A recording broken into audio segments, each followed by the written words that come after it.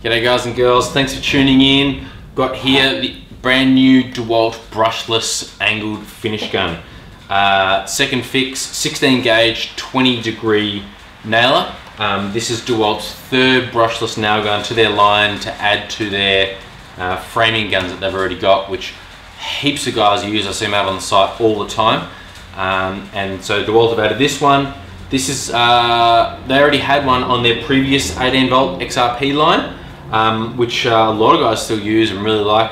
So this one's compatible with their new 18 volt slide battery line. Um, and uh, I'm hearing really, really good things from sellers and repairers um, so far as uh, how good this tool is.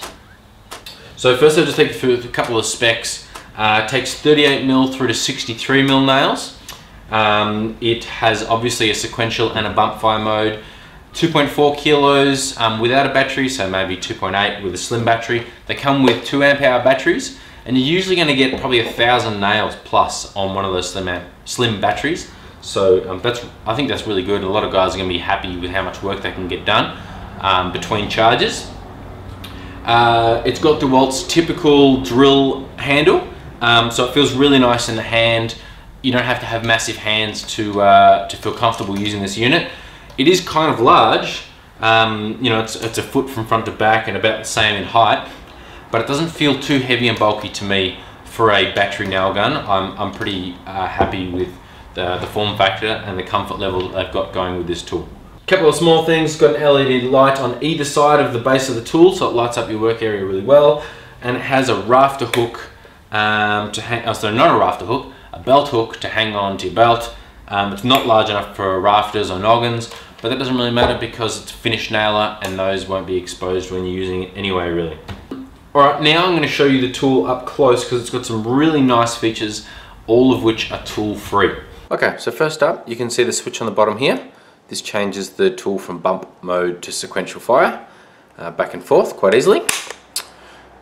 And uh, right next to it you can see the nail magazine. Now this takes 110 nails and uh, you get quite a lot of information on the front of the magazine there, also the back. Um, in particular down the bottom it tells you that if one of the LED lights flash then it means that the battery is too low to power the, the gun. And if the other one flashes then it means you need to click the stall release button uh, because the tool has stalled. Uh, and that is just at the top here. Very easy um, if that light's flashing um, then uh, all you have to do is click that over and you will uh, release the stall on the tool. It's very very simple. Um, back on the other side here it's very easy to change the depth. All you have to do is roll this knob over and you will adjust the depth. And you can see the uh, the indicator over here moving as you roll that. So it's quite simple it's also no tool needed to release a jam it's very simple as popping that cover open and then you can open up that whole section very simply to get to any jammed nails in here. It really couldn't be easier. It's a really nice mechanism. Um, to, so it's super easy. Not that I've jammed the, the unit yet. Click the nails in through the bottom like you would always do. Push it in. It's a little bit stiff to go through. Once that's in, you can pull your nail pusher past it and it will click up. So just the same as any standard um, gas or pneumatic gun, LED lights. Yeah. Okay, so the big question, how does it perform? Uh, I tried this with the short nails, 38, and its longest nails, 63 millimeters. Uh, just DeWalt standard nails, uh, same as everyone's been using on the previous version of this. Um, and I'm really pleased to report that it, it's very consistent and very good. Um, the nail depth, um, it hits it over and over and over really, really consistently. Um, even on the angle, tried that as well, found the, the depth to be really consistent. Um, and I did not miss a nail, not even once. No jams, put in nearly a thousand nails, um, no jams, and didn't miss one except for when I ran the clip dry accidentally. Um, so really, really pleased about that. Uh, in terms of your clips, you can fit two full clips and a little bit. Um, so I like that. It's uh, that's I mean you hope for that, but it, it, it uh, it's good. In terms of power, the uh, the depth control certainly allows you to um, put just small nails into like pine boards. I use prime pine, and uh, that was no problem. Um, dialing it right down to as deep as it can go, um, had no trouble putting those 38 mil nails through 19 mil Tasmanian oak on top of um, the stud. So pretty hard test, and it just it just punched them massively through.